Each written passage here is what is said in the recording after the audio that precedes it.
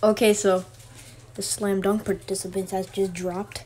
So Obi Toppin, I don't know, Anfernee Simons, and Stanley Cassius Stanley. I don't know how to say their names, but those are the people that are gonna attend the dunk contest. What do you think about it?